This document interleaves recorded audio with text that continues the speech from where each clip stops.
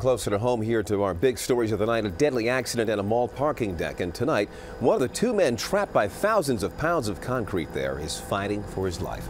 Right now, a construction worker is in Maryland Shock Trauma Center hours after a section of that parking deck came crashing down on top of him. While one worker survived, another was killed at the Westfield Montgomery Mall that's in Bethesda. Robert Lyles has spent the evening there at the scene, and he has the latest on what went wrong.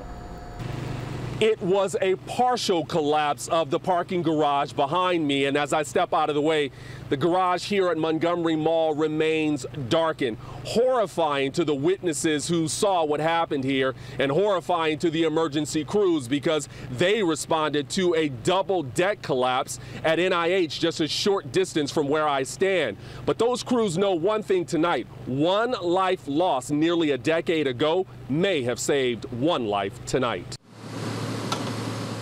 Emergency responders are hesitant to use a word like miracle, but when this construction worker trapped beneath 50,000 pounds of concrete was not only pulled out alive, but smiles and gives the thumbs up, emergency responders will use words like amazing.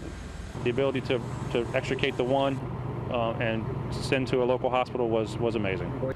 It was just before 2 p.m. when eyewitnesses heard an unbelievable sound. Uh, I would say like I, a loud, really loud bomb. Authorities say construction crews were attempting to remove what's called a double T or support beam when it collapsed. And I didn't realize it was the parking, you know, garage that had collapsed. 20 workers were on the deck, two were trapped. I hope they get them all right. I mean, we pray for them. So crews raced in with 4x4s and chainsaws. It was a lesson learned from November 2004. Over half of the technical rescue folks that were here today were at the NIH parking garage collapse. The collapse of two decks killed one worker and injured a dozen more. The lesson learned, say first responders, come heavily equipped and come in large numbers. I was constantly thinking about that tonight and today while we were operating here. That included the GO team, surgeons and nurses from shock trauma, transported from Baltimore to Bethesda.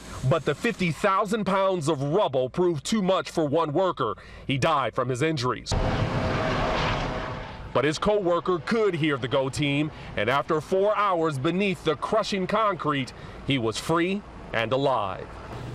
For most of today, the parking garage was a crime scene, and that's because it was a death investigation. But Montgomery County Police say they've now turned that parking garage back over to Whiting Turner. Whiting Turner is the company responsible for the renovations. Montgomery Fire tells us tonight it is their responsibility to update why there was a collapse here.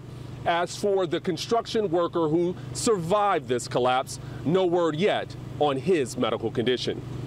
In Bethesda, I'm Robert Lyles, ABC 7 News.